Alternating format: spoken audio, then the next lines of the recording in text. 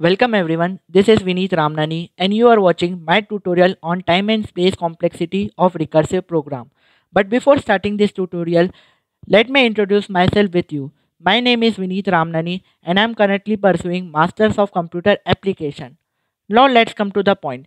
In this tutorial, we will learn how to analyze the time and space complexity of recursive program using factorial as an example. So let's begin.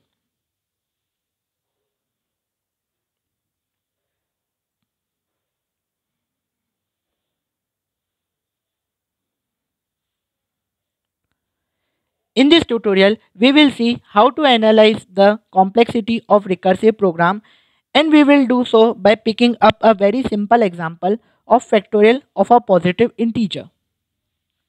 Now when, we, now when we will talk about complexity analysis of program, we basically mean two things. First is the time complexity, which basically is the measurement of how the time taken by the program grows with the input and another thing is the space complexity, which is the measurement of how the space or the memory consumed by the program grows with the input.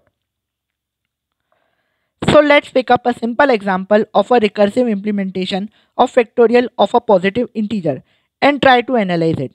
So here in this slide, I have written a recursive implementation to calculate factorial of n. If n is 0, we simply returns 1. Else we make a recursive call to calculate factorial of n minus 1. Multiply it with and return output. Now let's say time taken n to calculate factorial of n is equals to t of n. When we try to analyze time complexity of when we try to analyze time complexity of a program, we make an assumption that each simple operation costs us 1 unit of time. So if we see for n greater than 0, we must first compare it with 0, which is one simple operation. So this is got cost of 1 unit then we have a multiplication operation here that we perform after we get a return from factorial of n minus 1. So this is one unit of cost. And we perform the subtraction here to calculate n minus 1 which is another one unit of cost. So t of n is nothing but the time taken to calculate factorial of n minus 1 which is t of n minus 1 plus 3 units of cost for the simple operations and this is true for all n greater than 0. For n is equals to 0, t of 0 is equals to 1 because we only make a comparison here and simply return. Now we have t of n is equals to t of n minus 1 plus 3.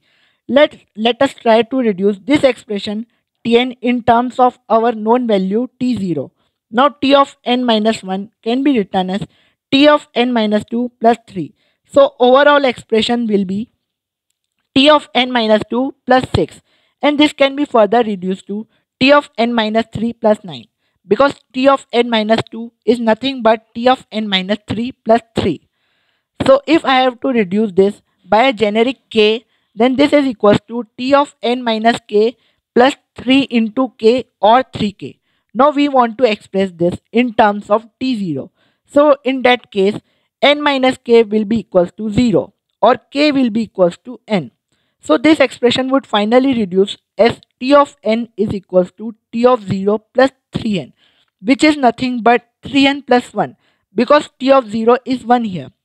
So we can see here that the time taken by this particular program for an input n is directly proportional to n. And we can also say that this is big O of n in terms of time complexity or this is an order of n algorithm. Now there are couple of different methods to calculate time complexity of a recursive program. This is one of the method in which we try to reduce Tn in terms of its base condition. Now let us try to analyze space complexity of this program and we will again this time go by an example.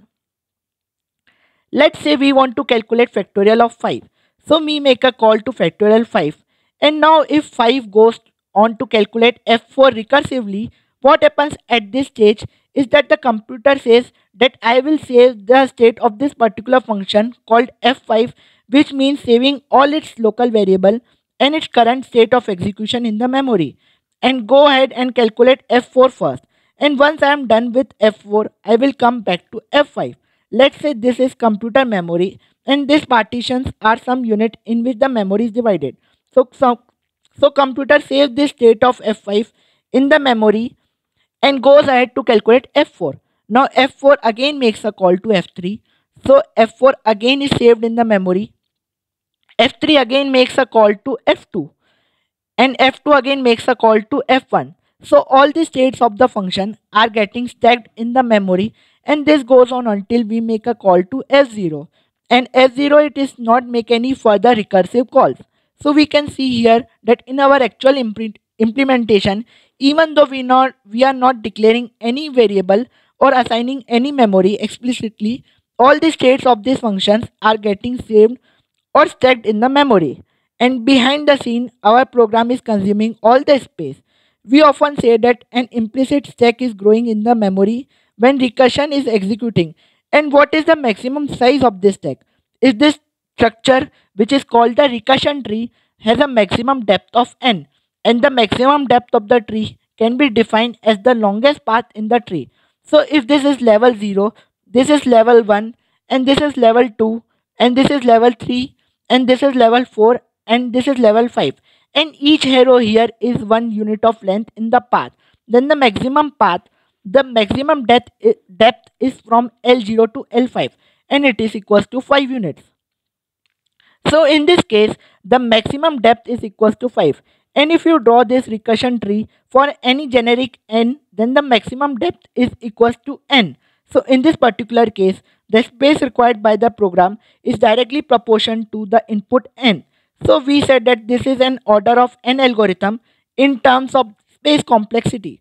So now this stack grows to a maximum of n units in this particular example.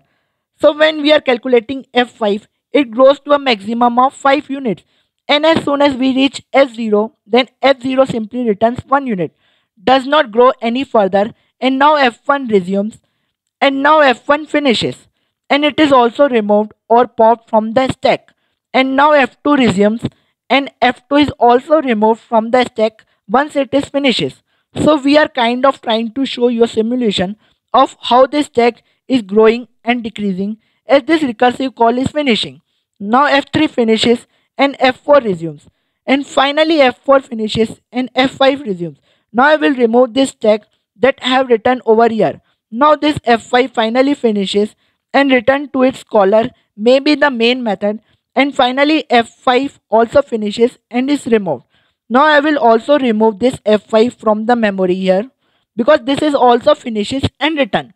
There are a lot of other things corresponding to this program execution like the state of the main method and other function calls that get saved in the memory but we only tried to show you the memory uses by this particular recursive call. So we saw that the maximum space taken by this program for an input n is n units. So the space taken is proportional to n and that's why this is order of n algorithm in terms of space complexity.